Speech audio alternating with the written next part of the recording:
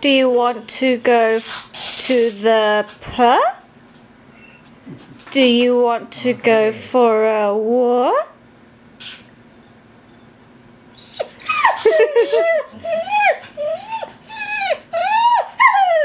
oh dear.